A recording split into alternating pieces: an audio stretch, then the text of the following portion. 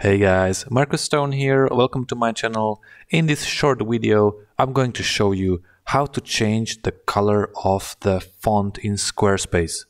So let's get started. This is the template that I'm working on right here and let's say that we want to change the font color of this text right here.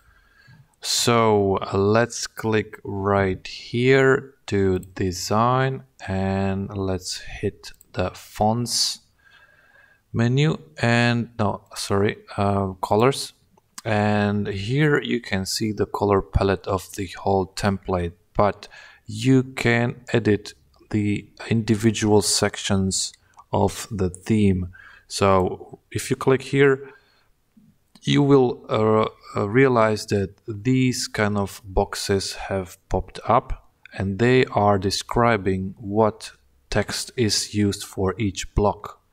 So this is black minimal. So that means all this text is uh, under the black minimal uh, menu. So once you hit the edit, you can see that you can switch this color right here and you will see that the headline, the heading, which is extra large size, has changed. Alright, so let's say that you want to change this color of this text too. So we just influence the extra large size of the text, but this one here is probably going to be the one of these uh, sizes. So let's go with the heading small. Let's try this one.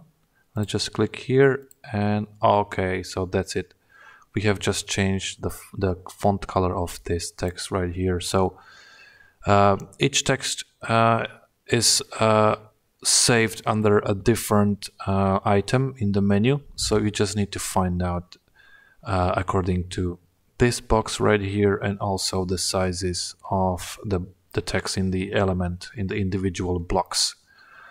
Alright, so there you have it, how to change the font color in Squarespace. Thank you for watching and see you in the next one. Bye.